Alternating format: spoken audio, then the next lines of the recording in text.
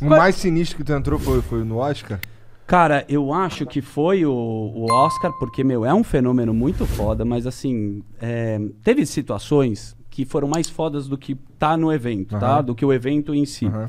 É, teve uma festa do Grammy, que eu fui e eu vi o, o Steve Wonder e consegui, tipo, tá com o Steve Wonder, sabe? Ver uns caras, assim, muito foda do teu lado numa balada comendo um camarão e num coquetel, tocando umas músicas e o meu avulso. Cê- cê- o foda de entrar é que você tá muito avulso no rolê. Você não tem um brother pra trocar ideia.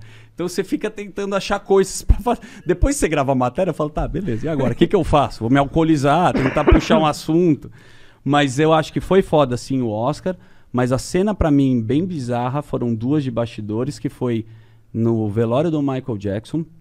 Eu fiquei atrás, junto do caixão, junto com a família inteira, com a Paris, que é a filha do Michael Jackson, foi no Staples Center, teve um discurso, e eu não tinha como sair. Eu falei, ah, mano, puta, e agora? Eu já tava dentro do evento, falei, preciso vazar.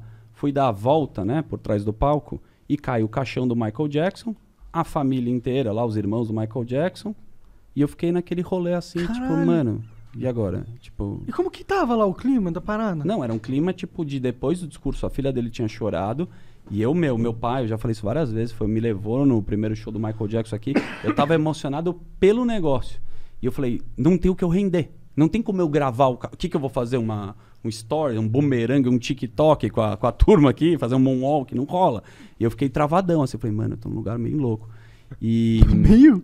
E, e- Caralho. E, quem tava no- indo embora, assim. É que essa história, isso é muito rolê aleatório, né? Quando eu ah, conto. você já deve estar acostumado com Eu tô- vários rolês, mas porra, tu tava Tá. no velório do Michael Jackson com a família dele. No caixão, né? Um caixão de ouro. E quem Caralho, tá ligado? Mano, isso é muito Bem louco, mano. engraçado. Pra ir embora, eu vi o Mike Tyson, tipo, saindo.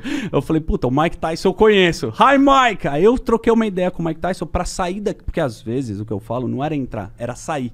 Eu ficava muito nessa noia, porque eu precisava de uma matéria. Eu tinha gravado tudo. Eu falei, mano, uma hora eu vou rodar, vão pegar tudo, eu vou perder meu material, que eu gravei tudo.